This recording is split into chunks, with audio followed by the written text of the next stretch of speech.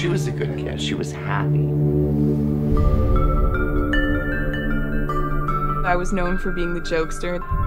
Eddie, he was always a fireball. We were talking about how funny it would be if we made a fake MySpace page about my vice principal. I was trying to stay out of trouble. That's when everything started.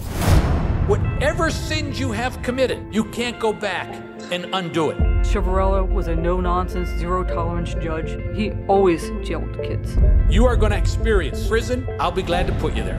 The way Ciavarella ran the courtroom, you could have had F. Lee Bailey there, and the kids would have gone away. There's a mechanism that takes over that keeps kids in that system. No one listened because we were kids. There was never any instance of guilt or innocence. They were locking him up.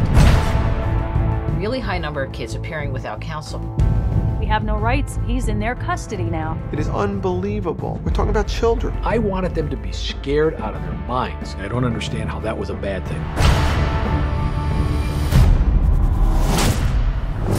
Luzerne County judge faces charges tonight in a scandal known as Kids for Cash. $2.6 million in return for sentencing kids to juvenile detention. I'd never sent a kid away for a penny. I'm not this mad judge who was just putting them in shackles, throwing kids away. He went there as a free spirited kid. He came out a hardened man, I'd say. Here I was saying we can trust that judge to be fair, and that's not what happened. I was scared every day. I was only 14. All those years I missed. This is not a cash for kids case. You scumbag! You ruined my life! I still wake up from nightmares